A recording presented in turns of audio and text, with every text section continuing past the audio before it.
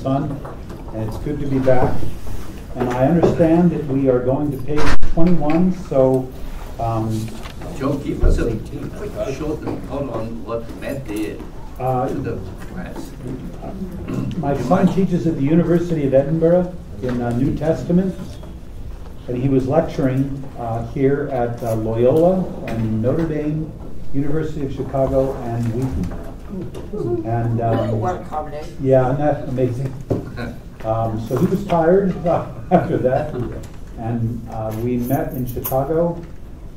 And uh, I was telling James coming down, my bride and my son are, he's our, our firstborn, and he's the most like Barb out of all of us. Um, It's a good thing. it's a very good thing. So when they're together, uh, it, it's just, there's this amazing relationship between the two of them. So after a little while, I just kind of stepped back and uh, let her and her firstborn be together.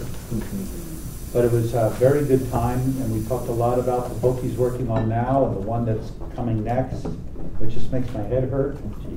Um, but it's just, What are the titles? Well, he's finishing one now on Paul and the Law, and then he'll be working on a commentary on Philippians for the Oxford University Press series, which I just can't even, So great. I, uh, I really do feel like that scene from Elf. I know him. I know him. but, uh, just amazing. So it's a real blessing to, to see the impact that the gospel's had in his heart. But it's good to be back, and I missed it. I really did. I, uh, I wish I could have been here for the discussion. Um, we are starting in chapter 19. Is that right, Gil? Yeah, yeah. Okay. What I'm, I, I may actually do is reach back to uh, 17 and, and then and go up a little bit. Are there any announcements? Did anybody but me notice that John's email said we're going to page two twenty-one? Yeah, I Oh, did. I did, and it made me a little, little nervous because I said, I think that's not here. Yeah. That's my bad. Or that may fit in the book. Yeah, we, we've been moving. Just con- for the last four or five days. By the way, the, the money you guys helped raise for Kenny and his truck, we got his trucks fixed. He's been helping me for several days. Kenny from over at West Side. So that's worked out real well, so I appreciate, he, he appreciates everybody's help. And, uh, appreciate your prayers. Got an announcement three or four days ago from California, the Master of Boxing wants me to come out to Boston and do an exhibition fight. Uh, April the twenty-fourth, and then be inducted into the Hall of Fame. Oh! So they I got- know him. I know him. And I didn't give him that black eye. He fought me the other day and got it. So back in the ring, and got a black eye the first time. So that's, hopefully I can give all the praise and glory to Amen. Christ. That's wonderful. Golly. Do not tick him off, right? That's- that is When I needed heavy things moved, guess who I asked? Me.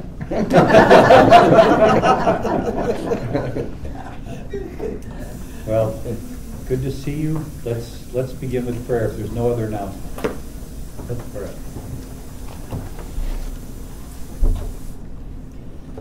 So much, so much about you remains at a distance. So much within us desires more. And so much within us resists the pursuit of more. Would you make this a time when the resistance is defeated? And we become supple in your hands. And you will break fresh ground and sink your plowshare deep, pull up soft loam. Please, Lord, so work within us. And we're asking that you would teach us as we are helped by an older brother and brothers whose works he's compiled. We invite this grace and need it, and therefore tell you, and now depend upon you for its provision. For we're asking in Christ's name. Amen. Before I um, go to the section on the monastic life, on 17, and just touch on it, I want to make a suggestion um, for when you are reading at different moments in church history. And I want to give you an example. Um, some of the things that, that I, I've been reading have made me want to tweak them just a little bit. I don't know if you felt that. Well, that's overstated, or that's a little much. Um, and I want to just offer an, a way of thinking. When I see someone do that, like he said a great deal about distancing from uh, created things in the world. And so I, when I do that, I try to say, all right, what are the ways that people look at the world now, then? And I wrote these down. Um, I came up with one, two, three, four, five of them. All the way to the right, and I'm not saying that because of it being conservative, all the way to the right would be creation is God. And that, that really is a position of some people. If, if it's created, that's where God is. And there's an identification between God and creation. That's one. Then there's creation is good. It's not God, but it's always good. It's never dangerous. It's always good. An example of that, I can't think of his name, was the gentleman who went out to live with the grizzly bears and they tore him to shreds. Um, but wanted to look at creation as always good instead of written in tooth and claw, but found out he was wrong, sadly. Um, so creation is God, therefore not dangerous. Creation is good, therefore not dangerous. The third, in the middle, more, is creation is good but fallen. Made good, and much of the elements of its goodness are still there. I was just at the Chicago Institute of Art. Man, was that an exercise in creation being good. To see what the Impressionists can create, and to stand in front of a Van Gogh and a Cezanne, and just, it was wonderful. So, in that position, creation's good but fallen. Sometimes it's dangerous. Sometimes. Not always, sometimes. And then to the left of that, creation is not good. It's mainly dangerous. And this is a bit of nuance. And finally, all the way to the left, creation is evil. It's perpetually, personally evil, now almost postured against you. Sometimes, as I've read him, he's lingered in the left too, as it's either evil or mainly dangerous. But the middle one, that creation is good but fallen, sometimes dangerous, sometimes not, I think is a more uh, biblical approach. The reason I'm, I'm modeling this is sometimes in Christian living, we only read books with which we agree. And that's not a good thing. Uh, every, this is, Gordon MacDonald said this, every movement in church history has been caused to change by its, from its periphery. By its Periphery. Someone who's on the margins said, now wait a minute, wait a minute, and called people back to biblical center. So when I read that line, I thought, you know, it's helpful if I learn from people who think I'm a nut or I'm really wrong to hear what do they see that I don't see or I'm not seeing well. And that's why I wanted to start with the monastic life. But does what I'm saying make sense to you? I, I want to remind you when we were reading the Puritans, I, I said repeatedly, remember if you were a Puritan, the only people you could quote was a Catholic. That's a very profound statement. And when you listen to sometimes the tension between Protestants and Catholics, we forget that. But think about this. Look at the section on monastic life. I, I wasn't here for your discussion, so I mean you no disrespect by wanting to just point this out.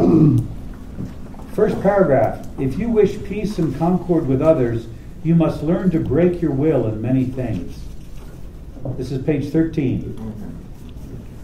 To live in monasteries or religious communities, to remain there without complaint, and to persevere faithfully till death is no small matter.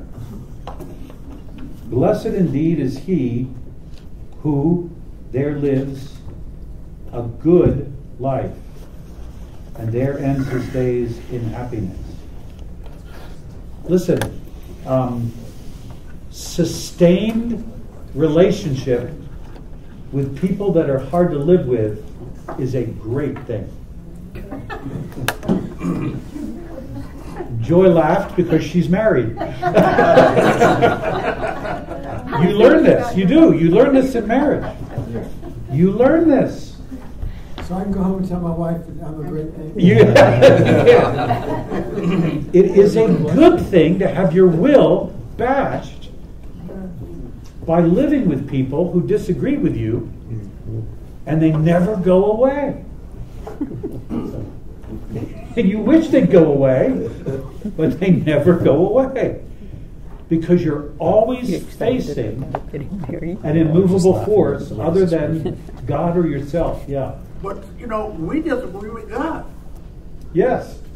Exactly why it's important. Yeah, because he says, my ways are not your ways. Exactly. My thoughts are not your thoughts. So- yeah. And that's exactly why it is so important to not value um, superficial unity and undervalue profound disunity. Undervalue. Yeah. disunity. I just spent ten and a half hours. Say that again. Say that again. Say it slowly. I just spent ten and a half hours in a car with my wife to Chicago and ten and a half back. We disagreed a lot. and I couldn't get out of the car. Oh, that's just great for you. Exactly. and that was just going through my mind as I was reflecting. And as Protestants, many of you, like me, will look at the monastic life and go, no good there. That's a lie. You take a single person and you put them in an atmosphere where they can't get out because they've taken vows. And it's not easy to be there for 10, 20, 30, 40 years. What a great thing for an unmarried man. What a great thing for an unmarried woman. But pushing it, a lot of the blessing of that first point is lost on us because we don't stay anywhere, least of all in churches. Ooh. One little thing you don't like, Ooh. I'm out of here. Listen, one of the greatest trespasses and sins of Protestants is we got one foot in, but we always got one foot out. You tick me off, I'm oh. out of here. That's our way. And that ain't good. And the monastic life, marriage, real fellowship says, I'm in. You're not like me, I'm not like you, but I'm in. And I want to walk with you and I want to learn from you, even when we disagree. And I just, I didn't want, if you're a Protestant, I didn't want you to just go through that chapter and go, nothing here for me. Oh, yeah, there is. Joe, can I make a comment? Yeah. So I was very uncomfortable reading that, as you can imagine. But I kept thinking that I understand it for a season, but I don't understand it for a godly way of life to completely say I'm sanctioning myself off from what you were saying, where you know the creation is essentially evil. That's the message that was kept bothering me reading this. That I, I kept thinking. I mean, I can't help but think the creation is good but broken, but not something that I, I would so despise. Sort of the way it was being presented. That's why, through it. So. I, I, that's why I began with that first, but also why you will see that in the history of monasticism, there were different orders Mhm. in order to engage, because the image of God is inside of us. You can't get rid of it. And we worship a God like it's no small thing that when Mary, I'm not going to push this too far, but when, Mary saw Jesus after the resurrection, remember who she mistakenly thought he was? A gardener. She was right. He was the gardener. He made Eden. You worship a God who's a gardener. He put a He- cooking out loud. I want to tell you, if you if you read the different creation accounts, if you read the Babylonian, the Akkadian, if you read the Egyptian, nobody says creation is good, but the Bible. And incidentally, no women are in the creation account either. None. None. Let alone be called image of God. And nowhere is rest ever mentioned. But my, my point is, that's inside of us. We know, though we may not know it here, we may be in a monastery and think creation's evil, but we know, because we're in the image of a God who made it good, it's good. So we're drawn to it. Mm-hmm. And we want to reconnect. So you find, as you watch the history of monasticism, you find people like the Jesuits who said, man, we, we got to engage with this world. And so we're going to start moving near the universities and, and arguing the case of Christianity. Aren't most of those monasteries in really pretty places? Not all of them. No. No, no, Seems like the one I've seen, are, you know. no, not all. Because you're thinking more of the ones that would isolate, which you're objecting to. And um, so that- that's, I think that's a right reservation. Yeah. I just, I'm sitting here thinking about the fact that as a culture, we've kind of, we're moving in the direction of a monastic kind of like, it, we don't interact with people anymore. Like we, we call up, you know, the grocery store, they pack our groceries up, we pull up, we pick them up. We don't, you go to, you don't have to order at a counter anymore at Panera or McDonald's or a lot of places. So people aren't talking to each other. So what's happening to the culture is the culture is withdrawing. And so for us as people to be those who engage, to be those who take that extra step that not that we're going to necessarily move and live next to a school so we can engage, but that mentality that we as believers are the ones that say, I'm not going to live this like, and I'm taking it to more of like a cultural thing because I know this is the spiritual side of it, but I think it's affected us as a people that we pull into our garages, we shut our doors, we don't talk to our neighbors, we sit in our backyards, we never see anybody else. So we've created these little protective barriers, and the world isn't impacted by our faith because we're all kind of like monastically living anyway. So I just had that thought that I think that's. that's, that's very helpful. My friend Chanda would say, always remove as many pieces of creation from between you and other people as possible. only, only put pieces of creation in between you and another human when necessary. So, in other words, you know, I should only email if I can't talk with John, or I should only call because I can't be with him. And Chanda said, keep moving them away because you were designed to be this way. And so don't keep adding pieces of creation, but removing them. So that very thing that you're talking about. Dick, you want to say something? Yeah, I want to. I want to say that I think a problem that maybe Protestants have with monasticism goes a little bit deeper in that, for example, celibacy. What do y'all think of celibacy? I mean, Catholics, we in our tradition, we believe that there are calls or vocations, like to the priesthood. That's a celibate life. And I studied for five and a half years there till God made it clear no, celibacy, celibacy is not for you. But, and I say that to say that I think you need to try to get around what Joe is saying. Look a little beyond what you're familiar with and think of it as a vocation and as a call to a type of life, which is what I think monasticism really was. It wasn't, I don't, you know, Joe, I, I beg to disagree a little bit. I don't think it was a put down of some things as much as it was I'm being called to a little different drummer where I can hear and write and write for others, write for myself, contemplate, meditate, and then different orders came about where some wanted to go into the academics, the Jesuits, other the poor, other different.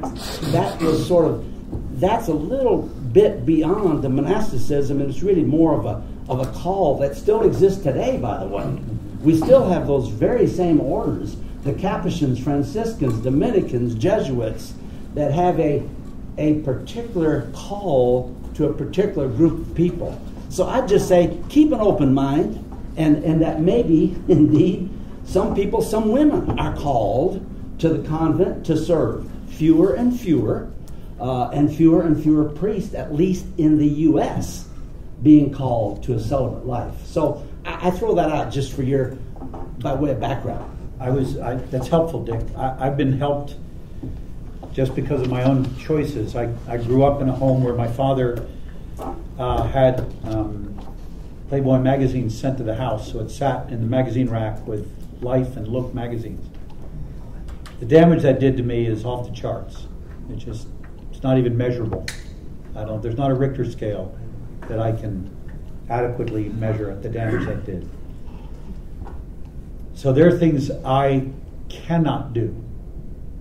Like when I've been asked to speak at a college conference at a beach in the summer, I cannot go to the beach till after sundown.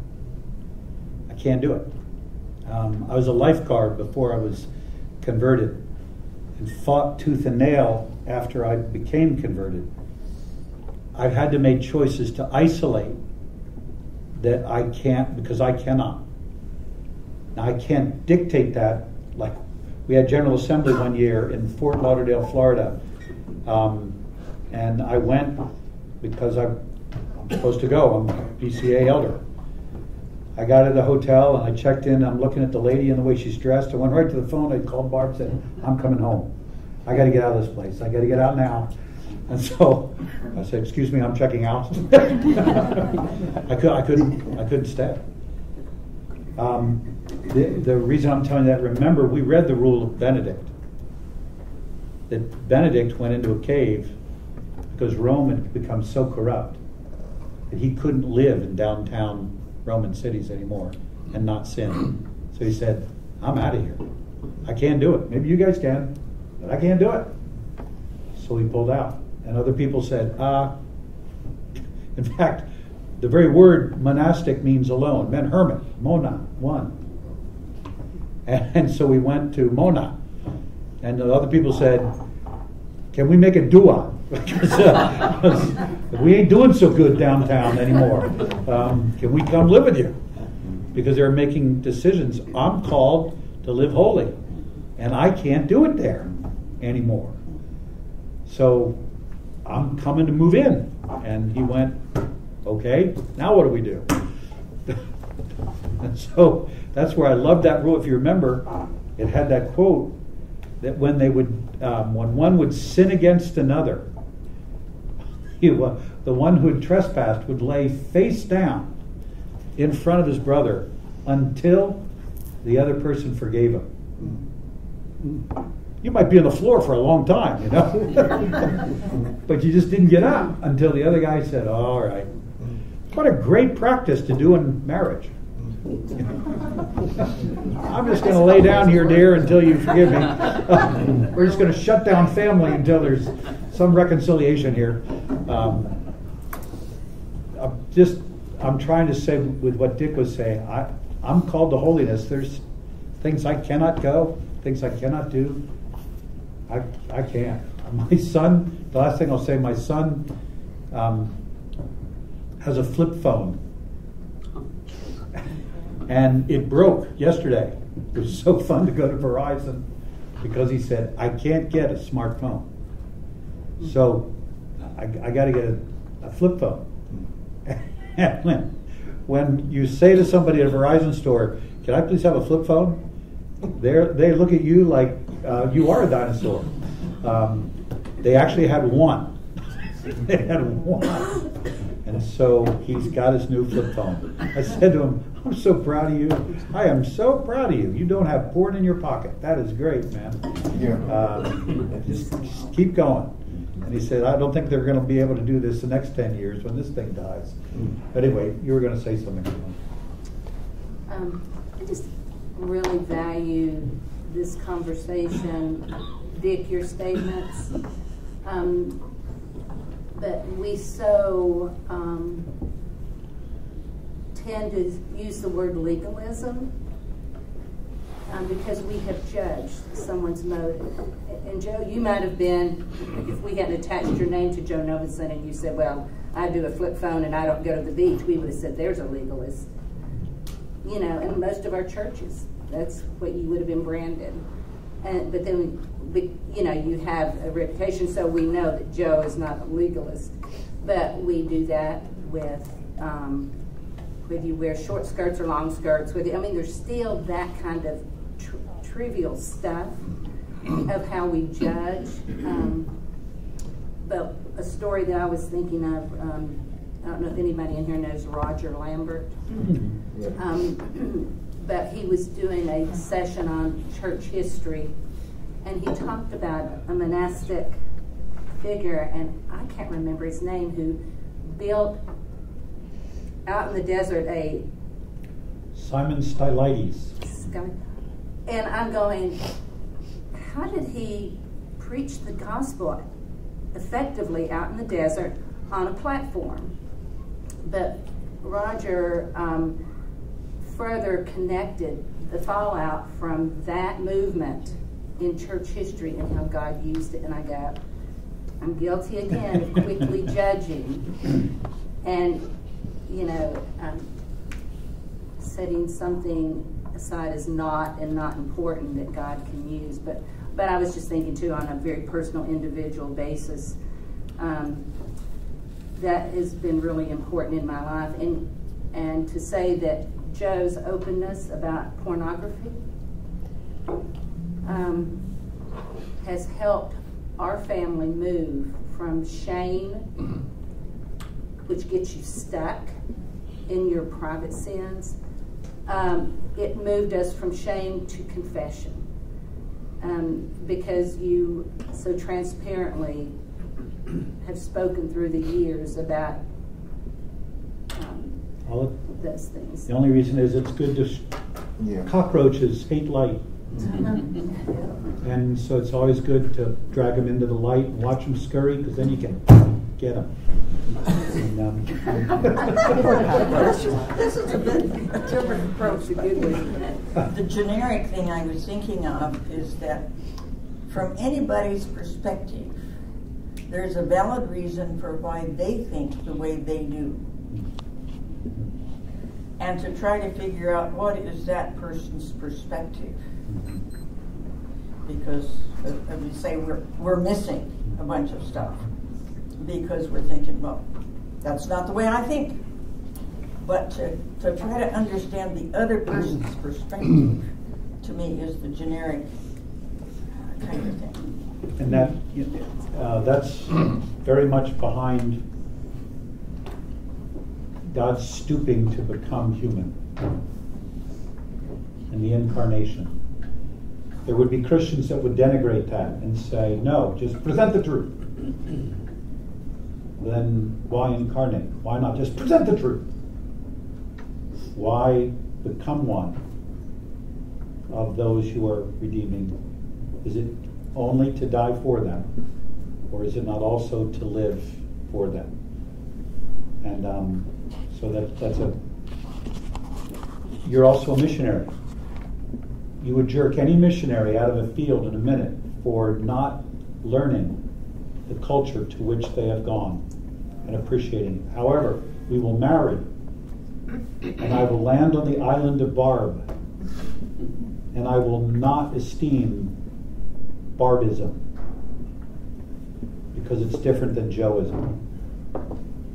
And I try to think missiologically when she speaks, and I don't understand it.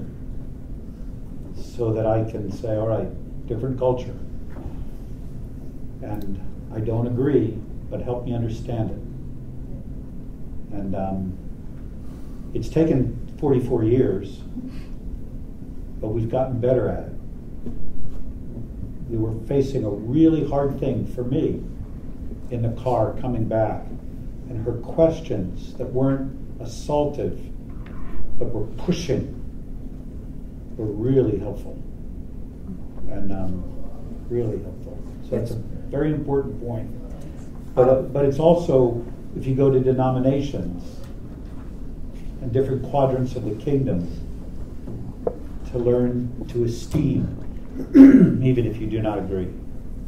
But James has been waiting to say something. Well, I just want to make a connection, you know, taking from the general what you're talking about, how how something that, that this man has learned from monastic life. Um, I think to Dick's point, that there's real value, some categories he's bringing up that can answer some of our issues, as maybe uh, maybe fundamentalism is a you know is a kind of withdrawing from the world, creation is bad. Something that he does that really helps me distinguish in terms of category is he doesn't say that temptation is removing yourself from temptation is the same thing as removing yourself from sin, which I think is one of the false steps of fundamentalism. You know, and we all know that now, probably hopefully decades on, that removing yourself from temptation isn't the same thing as removing yourself from sin. And the way he proves that is that he talks about the removal from the world being actually, you know, I heard over Dick talking about Lent beginning today. The removal from the world is actually a way to go deeper, a call to the Lord to go deeper into an experience of your sin, your sinfulness, so that the Lord can reveal and work on that. I mean, he's describing that in different places where his isolation from the world is so he can feel the real sorrow of his sin and repent and you know the, the mercy and grace of God there. And so I think I don't know that was just helpful for me in terms of you know temptation and sin, and also I think this bigger conversation about what can we learn from a monastic 500 years ago. Um, he's he's pursuing something that we're all pursuing, but he may have found a way that we need to go. You know, we actually may need to go away from the world some and its distractions and its kind of happy pleasures to actually feel the sorrow of our sin. That's what impressed me about the monastic life as I read, is that he's willing to he's willing to deal with the sorrow of sin. And then, in addition to this particular perspective of it, um, I lived in the Kiribati, that was the Gilbert Islands when I got there, and they've got independence from Britain. Uh, middle of the Central Pacific, just beyond the international date line, crosses the equator. They had Oh, oh, yeah, yeah. I I was there last week. Uh, In other words, the farthest you can get from land ma- mass, Hmm. anywhere you can find. Um, Congregationalists, Protestants, both English and American, in the uh, 1830s and shortly after, after they explored the Pacific, started to send missionaries there. And then French Catholics did. And when I was there, I still remember this British Baptist commenting, you know, I think when revival comes here, it's going to come through the Catholics. And then I was fascinated. Somebody, evidently it was from publicity from a year ago, showed um, Franklin Graham and his son-in-law on this side of islands where I had been. The son-in-law's father had helped liberate from, from the Japanese World War II. And there was at least one provable miracle through the Catholic Church there. And um, it was absolutely fascinating to me to see a different kind. Uh, and also when Franklin Graham was there with the shoeboxes, it was the first time both had worked together. So that was a very, very positive thing. But to see a different kind of relationship and see godly missionary women, as well as didn't know the men well, of course, but How many places have you lived, Virginia? I'm sorry. Well, I've had 35 apartment mates, but I've lived in Asia, Africa, Western and Eastern Europe, and the Pacific. Okay. And I'm here. Yeah, we're glad you're here. And as my sister said after her first visit, she said, There's a Bible verse that I think applies to you. And I said, What's that? And she said, The, the lines are drawn for me in pleasant places. Joe, I'm gonna make a comment about the Catholics, the uh, example.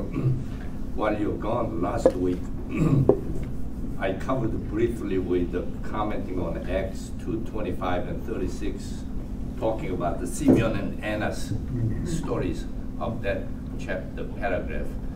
But uh, if you think about that fellow, the Simon, I think Stalin is the name.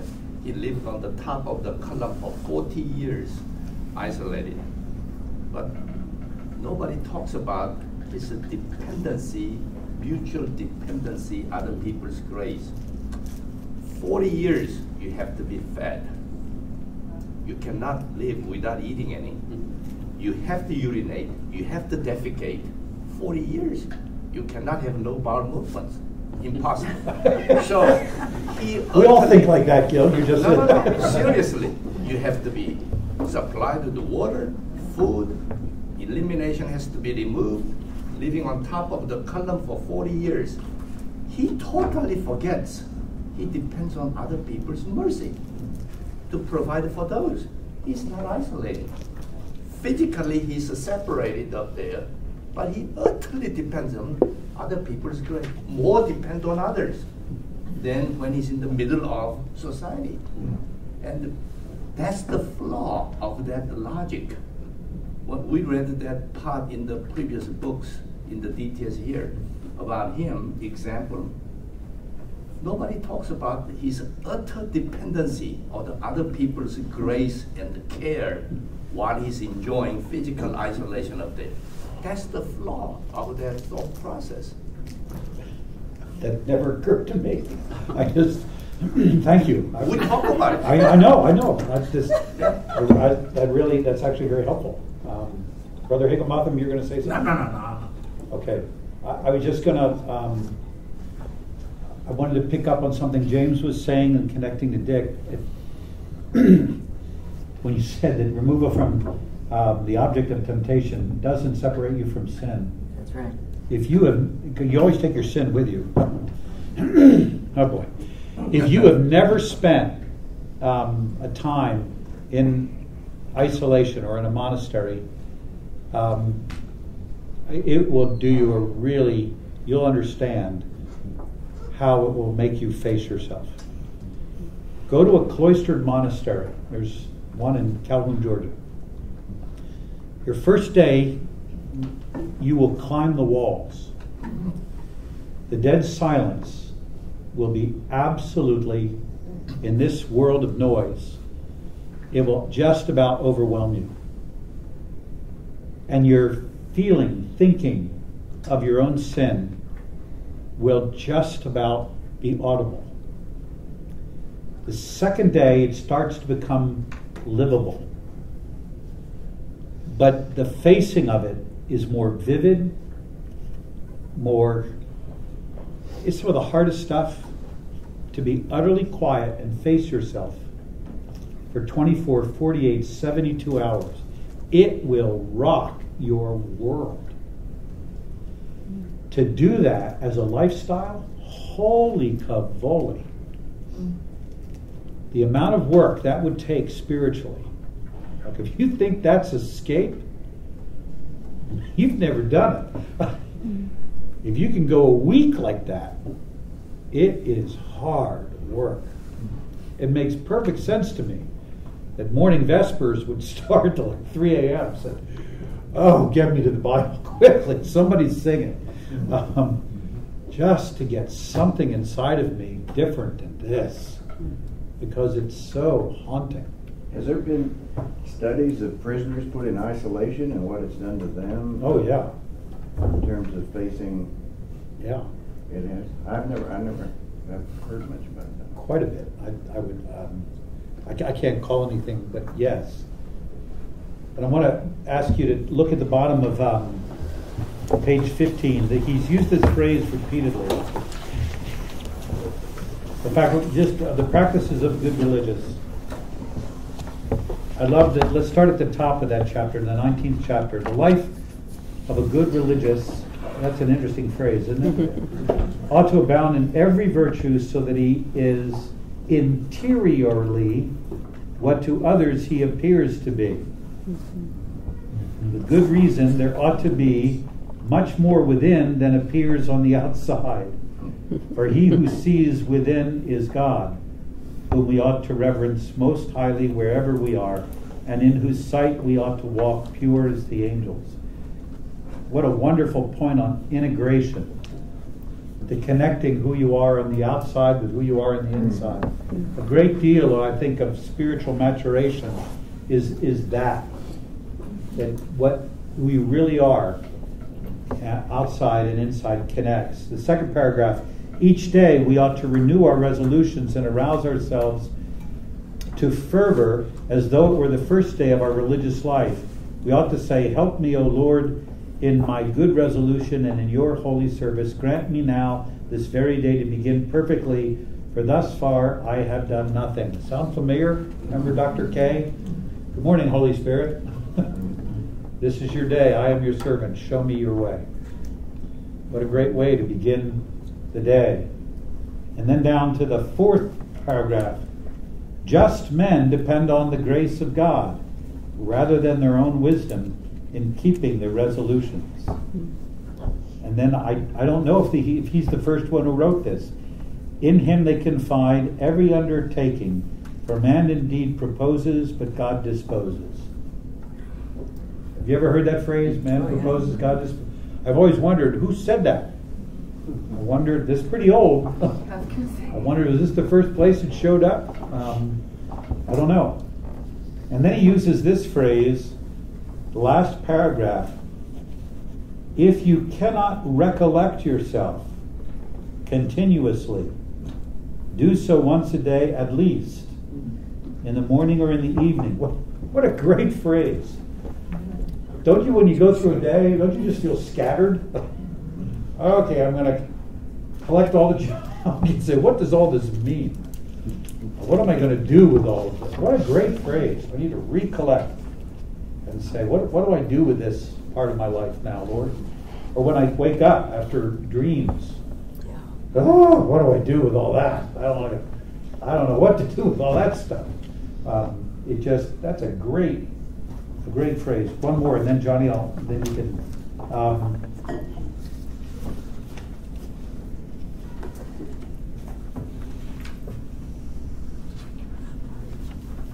Yeah, go over to uh, page 17. First, second full paragraph. No man appears in safety before the public eye unless he first relishes obscurity. Mm. No man is safe in speaking unless he loves to be silent. No man rules safely unless he's willing to be ruled. No man commands safely unless he's learned well how to obey. No man rejoices safely unless he has within him the testimony of a good conscience. That's a needle point right there. you know, put that over your mantelpiece. Wow. That um, shut my mouth until I'm really able and called to speak. Johnny, what were you going to say?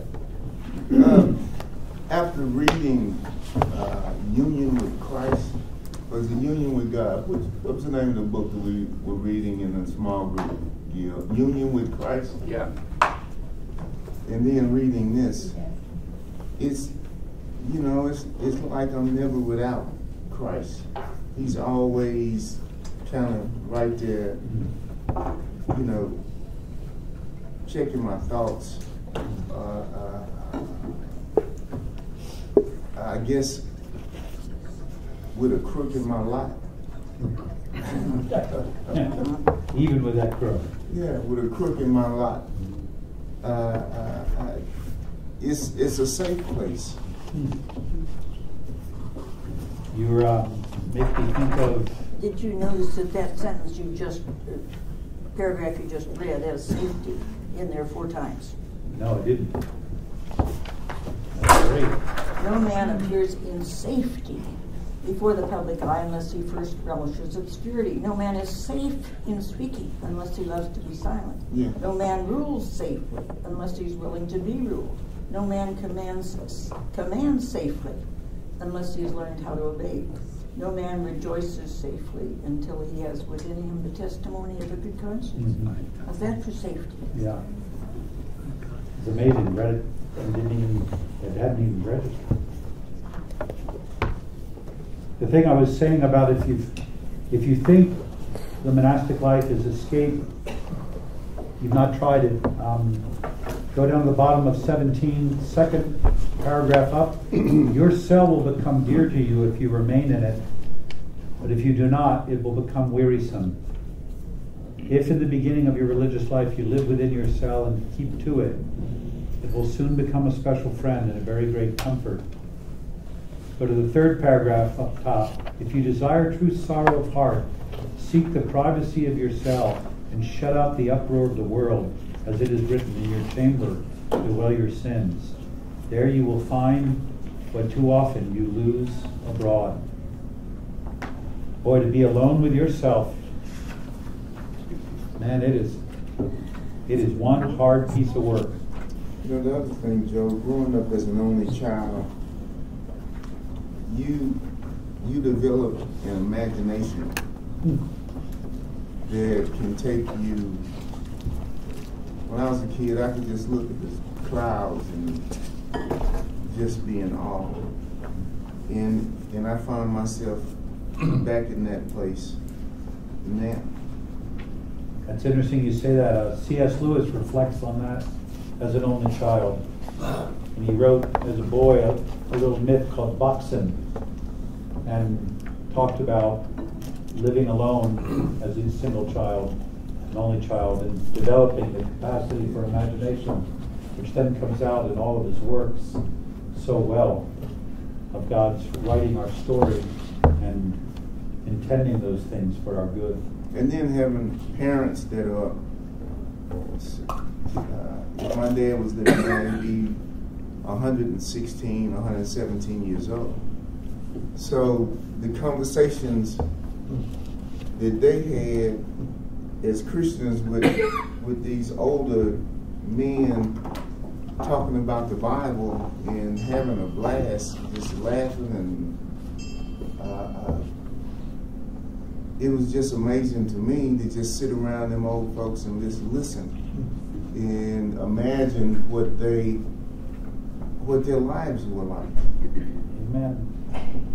I utterly agree. I still believe nursing facilities and assisted living facilities are one of the greatest resources for the kingdom, mm. and nobody goes there anymore. Mm. It's where we warehouse the people we don't want to be with instead of treasure the wisdom that we ought to listen to. Um, well, I just want to comment, you're encouraging me for the person that moved in recently. We're meeting Saturday mornings from nine to nine thirty, memorizing, uh, nine thirty to ten, and memorizing scripture. Sweet. Oh my, what a difference. For instance, we both knew the twenty-third Psalm. We read it several times together, and then we talk about different parts. The Lord is my shepherd. Lord is my shepherd. What does he maketh? What does H-E-H mean? It continues. He's not just making me lie down in green pastures, and then what greener pastures are for sheep.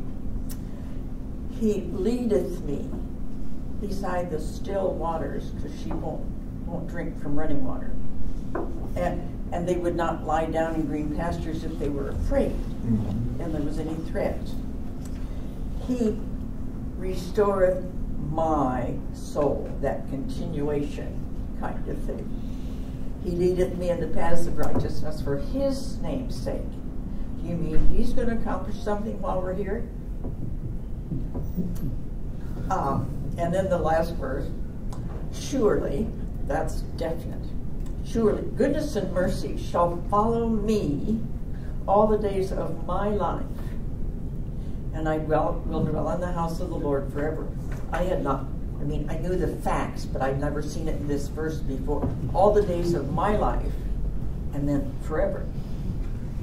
And so there's the now, and there's the future. Well, the difference, I mean, we talked about certain things the first week and other things, but he leadeth me, and he restoreth my soul, is when it came alive.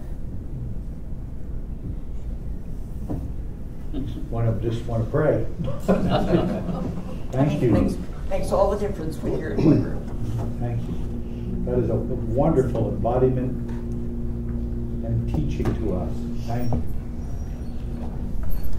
Joe, can I ask a quick question? Because where we're at right now, I had been praying about this on the way here, and I know we only have like five minutes, but my pastor preached this last Sunday about the fact that true satisfaction is found in Christ alone. And I kind of just wanted to ask this group of wise, seasoned believers, like, what does that actually mean? Because even what we're talking about, the idea that the monastic, like what you pointed out, this man sitting on top of a pole seeking God in his monastic state, but yet the reality is being isolated like that doesn't necessitate that we're going to deal with ourselves or with our sin. If we go into that place hoping to, wanting to, we will. But you can isolate yourself and be in silence and quiet and never deal with yourself. And so I've just been thinking about when it says that true satisfaction is found in Christ alone. What does that? How? How? How? Like what? So I thought I'd ask that because we're at this place where I was like, it isn't necessarily about isolating yourself, but what is the? And I know it's not something we can answer in five minutes, but I just thought I'd ask because. It's just a small question. I, I, haven't thought about much else since Sunday because I thought, yeah, what is the? What, what would you say? Go ahead, Dan. I've said in here before that I think something that we really lack is we do not spend enough time, if any, in contemplation and meditation. Mm-hmm. And I think what you're saying is so true that in our hecticness, if you will, that we don't just stop, turn off the radio, turn everything off, and be quiet. Yeah. No intercession, just be quiet before the Lord. I think that's what we're really missing. And I think, oh, there's going to be all kinds of baseball players, football, you know, there's going to be a lot of stuff come in.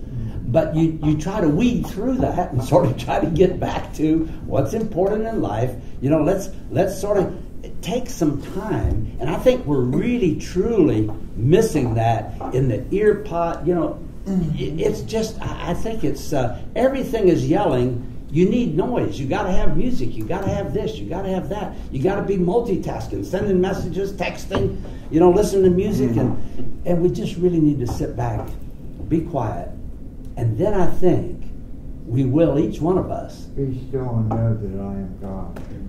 Amen, Gary. Amen. yes. It's, it's written here. I mean, in the same way you're in the love of solitude and silence, the bottom of page 17. In silence and quiet, the devout soul engages in virtue and learns the hidden truths of Scripture. So you find it in Scripture. Yeah. She, I thought that was interesting. She finds a flood of tears with which to bathe and cleanse herself nightly, that she might become more intimate with her Creator. The farther she withdraws from all the tumult of the world. For God and His holy angels will draw near to him and withdraw his friends and acquaintances. Basically, to withdraws to be still before the Lord. To me, uh, when you that question for, for my life, knowing that through the process of knowing that God created this universe, He created this earth, He created us humans, He is sovereign. I don't like a lot of things that happen, but He is sovereign. He is good. He loves He He loves me, even though it doesn't appear that way sometimes. that knowing him, knowing him intimately and coming to him with everything that about my life and only wanting to serve him. That's it. Doesn't matter the circumstances and the issues that I don't like.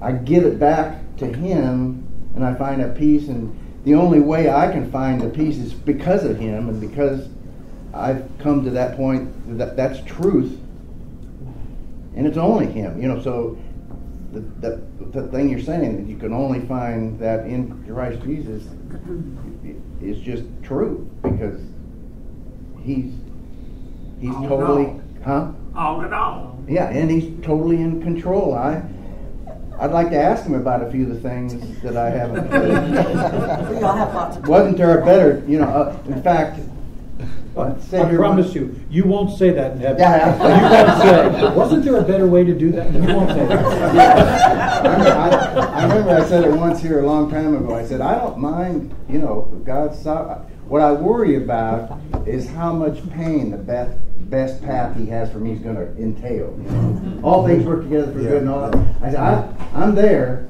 I just worry about the pain that is going to be in that path. Yeah, but he knows that and he's already been through it, yeah, that's right. which is a lot worse than And yet what we're going to. the box. But the bottom of 19, I couldn't resist. And Also, wherever you go, wherever you are, wherever you go, you are miserable unless you turn to God. Where's that? Bottom of 19, the last three lines. Wherever you are, wherever you go, you are miserable unless you turn to God. Amen. Amen. What a good place to end. We'll come back to Jenny's question when we return.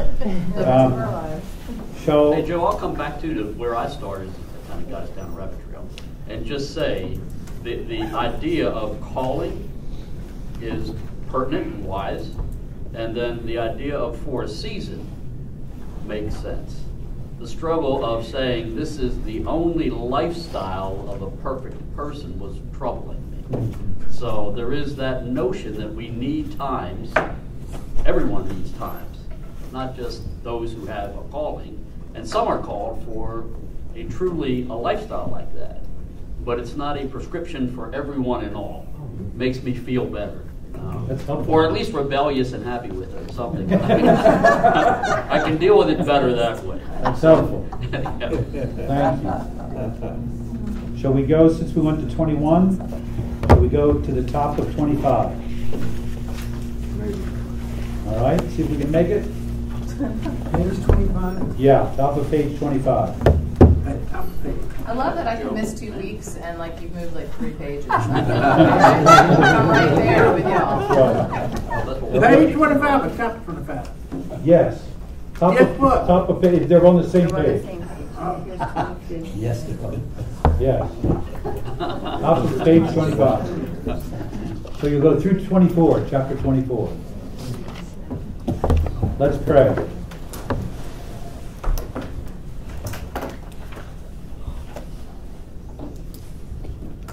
Grant us rest. And let us work in this world out of the rest you grant. And thank you for the promise that there is yet a rest ahead, the likes of which we can only imagine. It will be so good not to sin anymore.